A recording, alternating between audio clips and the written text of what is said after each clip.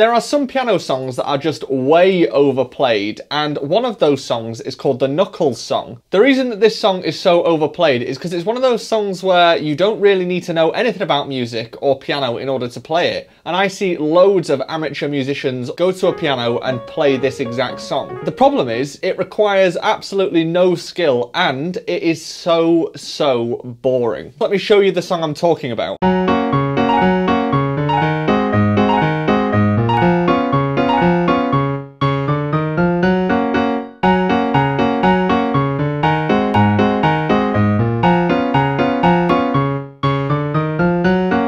So in this video, I'm going to take that song and I'm going to try and turn it into something that sounds much better. So I think the important things I can do to make this song less boring is several things. Firstly, at the moment it is only one musical idea, which is this. So I need to take that one musical idea and turn it into something more elaborate. It needs a better bass line and it needs some more rhythm in it. I'm probably also going to have to come up with different musical ideas that will work with this one in order to turn it into a bit more of a full song. This original song is a piano duet, so normally you'd have someone else playing sort of like an accompaniment to it. But if you actually just learn to use your fingers on this, you could very easily whatever the accompaniment is. So let's do it. Okay, so the first thing I'm gonna do is I'm gonna try and add a bass line that's more interesting.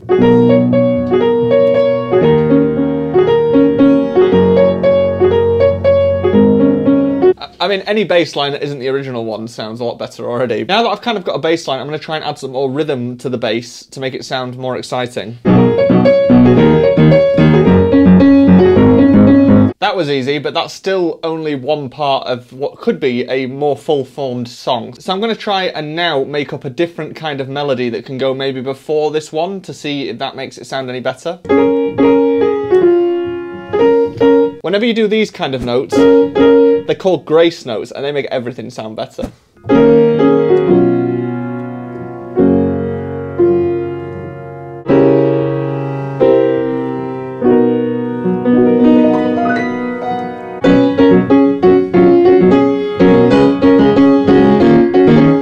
Okay, so I've kind of come up with an idea, which is this.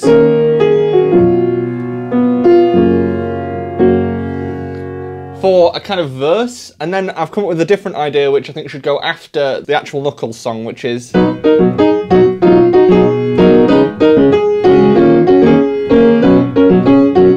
Just to try and lead back into something else because one of the problems with the original song is it's got no structure, it's one melodic idea.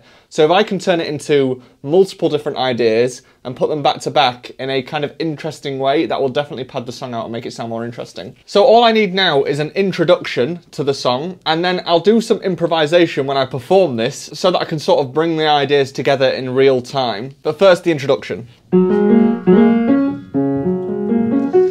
think I want to include that idea in the introduction.